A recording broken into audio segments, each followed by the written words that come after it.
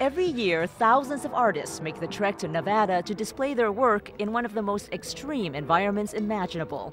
For one week, five square miles of the Black Rock Desert is transformed into a more than 300 piece exhibition of radical self expression. It is like the greatest museum ever.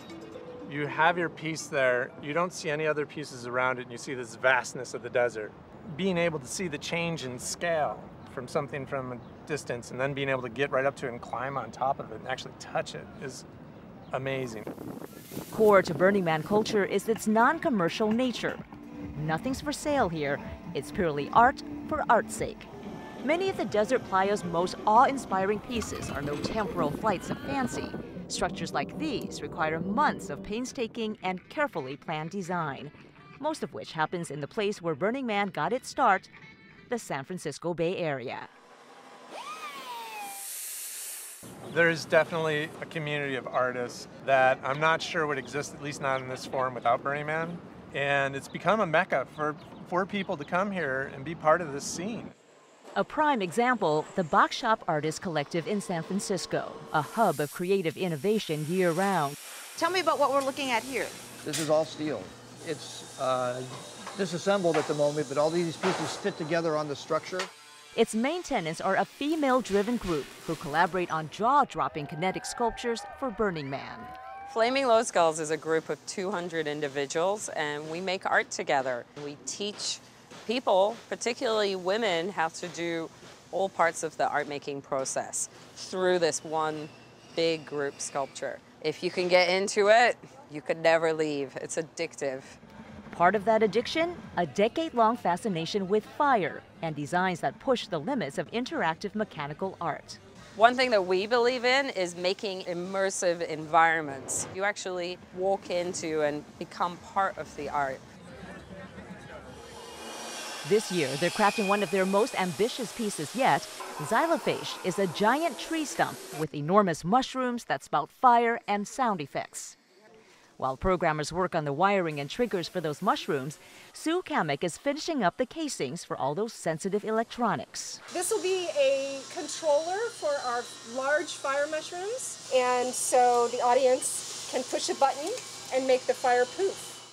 It takes hundreds of hours of volunteer labor to bring such an intricate design alive, and the people who donate their time come from every walk of life. Jackie Britton flew all the way from London to be a Flaming Lotus girl. Right, what am I what am I helping you with here? We are making bark for big stumpy. So you start with a flat bit of metal, you bend it, you cut it like this. Okay. And then you smack it with a hammer. It's not massively dangerous, but that's, that's I mean, good to know that it's not massively things. dangerous. You know I mean? Jackie's what the group affectionately calls a minion, ready to take on any task that's needed. I think that's suitably barky. suitably barky. Hey, you know Beautiful. what? Two down, 100,000 more to go. One week later, Xylophage makes its debut at Burning Man.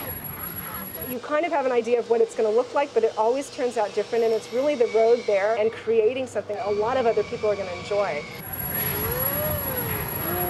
Like the Burning Man himself, much of the art here goes up in smoke at the end of the week. But over the past decade, the influence of Burning Man has spread, as an increasing number of these sculptures are finding new homes in urban settings. As executive director of the Black Rock Arts Foundation, Tomas McCabe helps fund community based interactive art projects, all with the Burning Man aesthetic like Futures Past by Kate Raudenbush. Futures Past is obviously like a, a Mayan temple. This is all modeled after actual circuit boards and circuitry. The foundation's first project was a David Best temple in Hayes Valley. We set up the temple and people started writing on it and, and in the in the beginning police would stop people from vandalizing. And we had to like actually enculturate the police and the local residents. Well that's what it's for. The black rock arts foundation has been building on the success of the hayes valley site. Over the past eight years it supported more than 30 civic arts projects in the bay area and beyond one of the best known is Bliss Dance on Treasure Island. There's an iPhone app where you have a photo of the sculpture on your phone and you can slide your finger up and down the sculpture and the lights will change according to which colors you select. Marco Cochrane has been working for years with life-size bronzes and he's taken this classical form to a whole nother level of scale and technology. Art that needs viewer participation to come alive is taken to the extreme with Peter Hudson's whimsical zoetrope. It requires passersby to pound on drums to make the piece spin. In 2008, it landed next to a children's museum in San Jose. Palo Alto will soon be home to artist Charlie Gadeken's Aurora, a piece he's shown at multiple festivals across the country and is readying to install outside City Hall.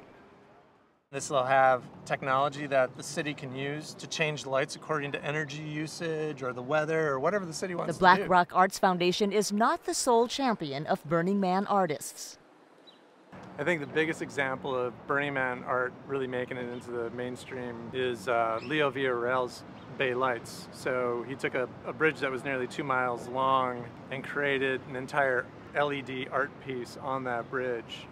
The installation was privately financed to the tune of $8 million.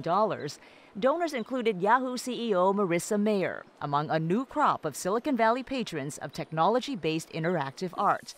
And soon, pending final approval by the city, the San Francisco waterfront will boast yet another former Burning Man creation, this one courtesy of the Flaming Lotus Girls. We've been very successful in this uh, kind of couple year cycle where we'll make the piece for Burning Man, we'll break it at Burning Man, and then bring it back and work on it and make it perfect.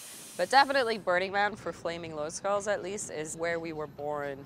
And so that is a special place for us.